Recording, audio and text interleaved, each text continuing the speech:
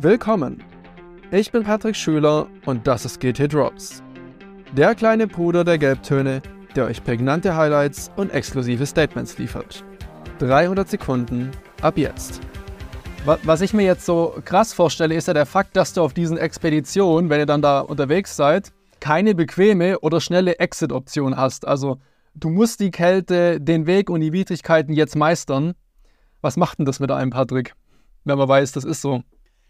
Ähm, also als erstes würde ich mal sagen, sollte man schon ein paar kleine Sachen gemacht haben, bevor man auf eine solche Expedition geht. Man sollte also sich schon mal mit, äh, mit etwas kritischeren Situationen auseinandergesetzt haben. Man sollte also nicht das allererste Mal in eine solche Situation kommen, wenn man in so einer Expedition ist. Was wichtig ist, ist, denke ich, dass man eine mentale Stabilität mitbringt, dass man also seine geistigen und körperlichen Möglichkeiten auch in einer Notsituation und in einer Situation bewahrt, wo normalerweise Panik aufkommen würde, weil das nützt nichts, ja. Ganz viele Leute sagen dann, hast du keine Angst? Nein, weil ich äh, bin die Risiken durchgegangen vorher und ich habe ein, ein richtiges Risk Assessment gemacht. Wir haben uns einen Risk Management Plan zurechtgelegt und das ändert ja nicht, indem man dann nachher dort ist. Ja, man weiß die Risiken, man weiß, wie man sie angeht und das Wichtigste ist, dass man die richtigen Dinge tut. Und dann muss man einfach lernen, in, in der Situation ruhig zu bleiben und das, was man äh, vor, also vorbereitet hat und was gemacht werden muss, dann auch einfach anzuwenden. Ist es dann auch so, wenn ihr, du hast ja auch vorhin darüber gesprochen, äh, ist es die ganze Zeit hell entsprechend? Da gibt es auch den, den, normalen Tagesrhythmus in dem Sinne nicht, wie wir ihn jetzt hier äh, in unseren Breitengraden haben.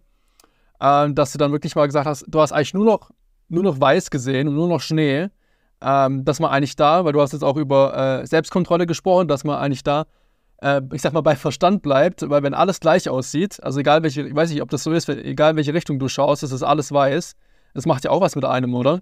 So in Sachen Orientierung. Ja, also das ist, ähm, das, was du jetzt beschreibst, ist ein sogenanntes Whiteout.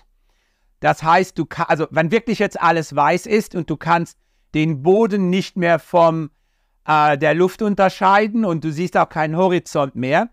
Das kann ähm, sogar bei Geübten zu äh, Schwindel und zu äh, Problemen führen mit dem Gleichgewicht, ja, weil du absolut keine Orientierung mehr hast, um ähm, deinem Körper eine, eine Ebene und einen Weg vorzuzeigen.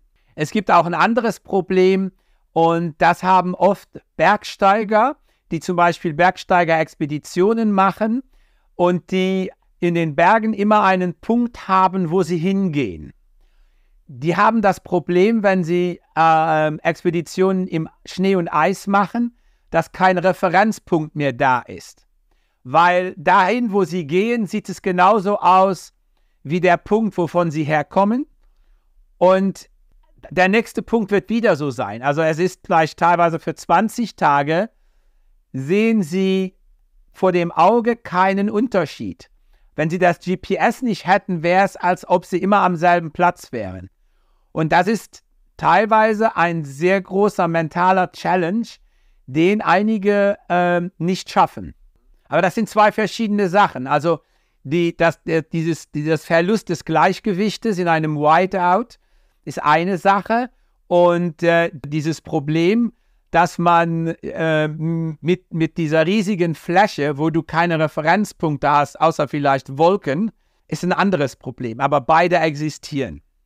Okay, und wenn du dich in der Situation befindest, welche Strategien gibt es dann?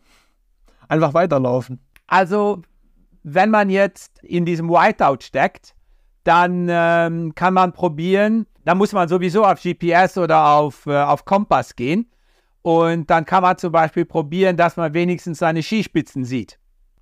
Wenn man das allerdings, wenn man allerdings äh, das Gleichgewicht nicht mehr hat, dann muss man einfach Camp aufschlagen und abwarten, bis wieder Sicht vorhanden ist.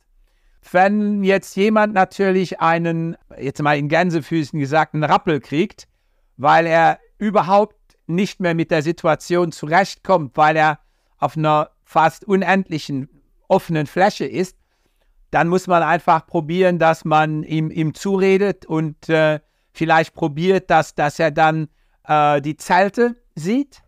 Aber ich denke, man sollte einfach, bevor man auf eine riesen oder eine sehr teure Expedition geht, einfach mal probieren, in so einer äh, kargen Landschaft äh, äh, zu trainieren oder mal eine Woche unterwegs zu sein, ähm, wo man einfach hinkommt, bevor man sich dann äh, in eine Eiswüste abliefern lässt mit Helikopter, wo dann äh, ein Helikopterflug raus richtig viel Geld kostet.